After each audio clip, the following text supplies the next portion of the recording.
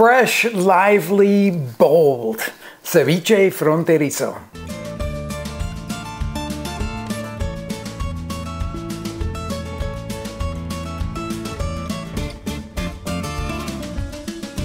Welcome back to my kitchen. We're returning to some of the Frontera Grill classics, things that have been on our menu for 37 years. And today, it's ceviche, what you'll see on our menu as listed as ceviche fronterizo.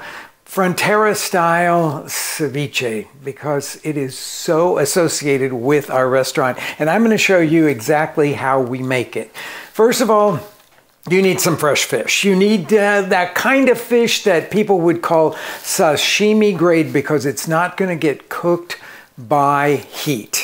Going to get sort of cooked by acid, but still you need the absolute freshest fish you can get.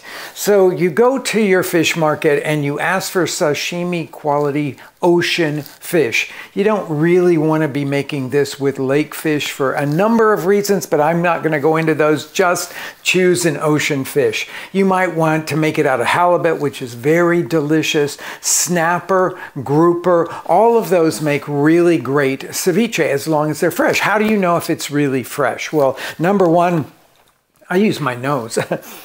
I smell the fish, and if it smells like the ocean, then it's going to be really fresh. If it smells like an old fish market, I would pass on that. Secondly, you look at it and you see if it's gleaming. If it's got a beautiful luster to it, then it's probably really fresh fish. If it is sort of dried out looking, pass on that one as well. So use your nose and use your eyes. You can also use your fingers. Touch the fish if it dents in and the dent stays, well, it's old fish. If it just pops right back up, sort of like uh, bread dough when it has risen beautifully, then you know it's going to be fresh fish. So what I'm using here is albacore tuna. Now it's a very lean meat and we like to eat tuna rare. So I'm going to actually make a kind of rare ceviche because that's what we do in our restaurant. Other ones you may want to like let it soak longer and be a little bit more well done. I'm going to cut this albacore tuna into pieces that are a little smaller than a half an inch and I'm going to finely chop a white onion.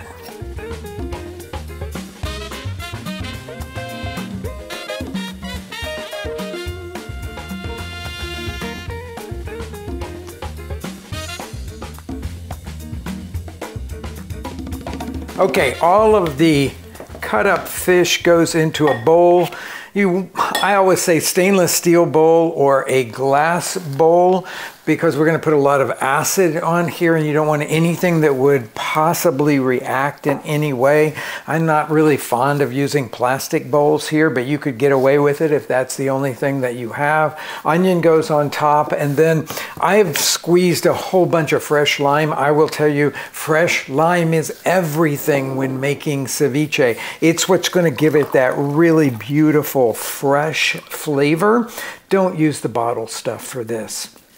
I mean, you've invested in a lot of good fish here. Why wreck it with bottled lime juice? Now you want enough lime. This will take, um, for one pound of fish, it'll take a generous cup. You want to pour on enough, looks like it's going to take all of that, to have this fish float freely. That's what you're looking for there. Mix the onion into it. The onion will slightly pickle in the lime juice, which I really, really love there. And then I'm going to refrigerate this for 20 minutes. That will still leave this tuna really quite rare, but I'm going to refrigerate it just for 20 minutes. You may want yours to go a little bit longer than that. Now, I know you heard me say several times albacore tuna. And we've chosen albacore tuna for the classic Frontera ceviche because our restaurant is very, very dedicated to sustainable seafood. And albacore is in good supply. When you're going to buy the fish for your ceviche, please stay away from things like bluefin tuna. Yes, yellowfin is okay. It's sort of okay. But if you have a chance to get albacore and you like that texture of, uh, of tuna for your ceviche like we do, then choose the albacore. Now, back to the recipe. Okay, you can see here that the fish is starting to turn a sort of pale color. It doesn't have the redness of raw fish, but not a ton. That's actually what I'm looking for in this style of ceviche. That very, barely, barely marinated ceviche is really my favorite one, but especially when I'm working with tuna. Okay, so I'm going to tip off the lime juice now. It's done as much of the work as I want it to do. So I'm just tipping it off like this, but I'm going to leave a couple of tablespoons in there because I want it to season the dish. So scoop all of that in there because we need a bigger bowl now to mix everything in with. Okay, so here are all the other ingredients that we're going to work with here. Green chili, of course, we need a little bit of spice. I'm going to chop that up. I'm going to chop up a little bit of cilantro here. Um, I've already chopped up some tomatoes. Um, I will tell you that during the winter time, we work really hard in our restaurant to get beautiful red tomatoes, but sometimes the best ones that we can lay our hands on are cherry tomatoes. So I've sort of coarsely chopped cherry tomatoes here, and then we're going to add all of that and season. Seasoning ceviche is one of the things that you have to learn about, and I will get to that once we get everything chopped up and in the bowl.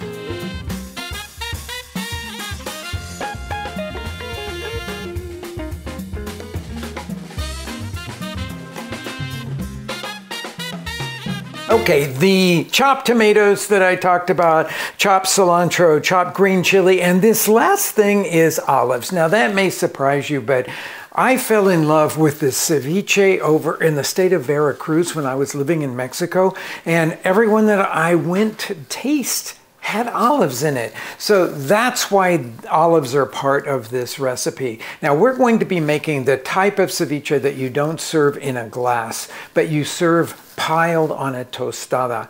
That's one of my favorite ways to eat it. And so we are going to make that drier style of ceviche. I'm going to just simply scrape all of this into the bowl. It's all been measured and weighed according to the, uh, variety, the way that we do it in our restaurants. And I'm going to grab a spoon to stir everything together. Remember that those olives, I'm using a type of green olive. In Mexico, they use green olives for this kind of thing all the time. Um, manzanilla olives are the common one there. What we use in our restaurant is a slightly larger green olive that I have right there that has this incredibly robust flavor. So it carries through in a really nice way. Now, I would always suggest at this point that you give your ceviche a little taste because the olives are going to add some saltiness to it. Of course, that lime juice is really tangy. The, you need to know where you're starting from. This one is really robust in the tanginess of the lime juice. I'm getting heat from that chili. I'm getting a little brininess from the olives that are in there. Now, this is a place where you have to train your palate because you have to get enough salt in here to balance that liminess. Uh, may sound odd, but lots of people are really, they confuse those things in their mind. Okay, so I'm going to give, uh, give you some measurements to start with here. I'm using diamond crystal salt, so it's really a large flake.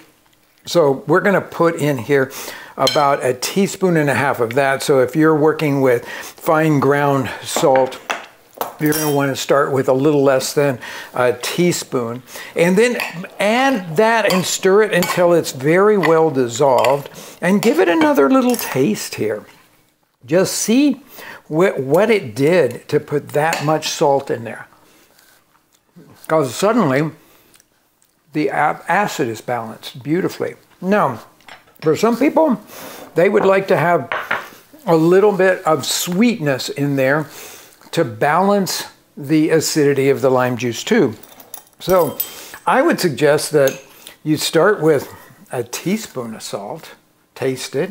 I know that my preference is for about two teaspoons of, of sugar here in this um, to give, to bring out the natural sweetness of the tomatoes that are in here. I think it sort of balances everything a little bit more. So mm, now I've got a whole symphony of flavors going on here. Maybe you don't want to add that little bit of sugar to it, but I'm going to encourage that everybody to put a good dose of olive oil in here.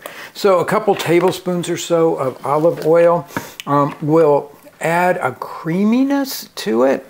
Again, it's going to be a slightly different style than the ceviche you would serve in a, in a cup. Um, those are usually really focused on the acid, but on a tostada, on a chip, well, I like the, the creaminess that's added by that olive oil. Final taste here before we go to the plating, just to make sure that everything is exactly where I want it. Mm. That's a really elegant ceviche. Okay, next I'm going to show you how to plate it. Okay, I've got three options for you. Uh, the large tostadas, the ones that you could buy at the Mexican grocery store, or you could fry them yourself from tortillas. Um, I've got chips here, just regular chips, though you want to get some really sturdy ones, not super thin ones, preferably from a local tortilleria. And then I have these sort of fancy ones that we use at our restaurant, which are cut from a special tortilla, but they're cut to be long and really beautiful so if you want to do that kind of thing, I was just going to show you how you cut them. This is a special tortilla that is made for frying. This is not the kind that you would have with your meal at the table or to make tacos out of unless they were going to be the rolled and fried ones. So what you do with this guy is that you cut um, uh, these long triangles out of it. Usually you can get about three good ones out of this. And then you can just fry up the rest of this here. So when you fry them, they'll have a little cup shape to them, especially if you keep pushing them down in the oil. And that will give you these really pretty ones over here. So now my next step is to pile this ceviche onto each one of these. And then you could serve it just like this. The smaller ones, of course, are better if you're going to do it as a sort of passed appetizer um, in front in it before a, a big meal. Okay, last one here. Now you could make your ceviche um, an hour or two before your guests arrived, but boy, fresh is best when you're talking about ceviche. So don't make it too far in advance. Here's to some really great ceviche.